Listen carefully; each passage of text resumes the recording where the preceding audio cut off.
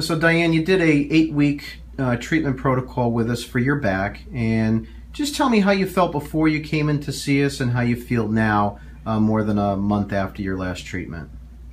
Before I came in, I felt every morning like there was a a cement block on the top of my head. I just couldn't move, and I felt like that every time I got up out of the chair.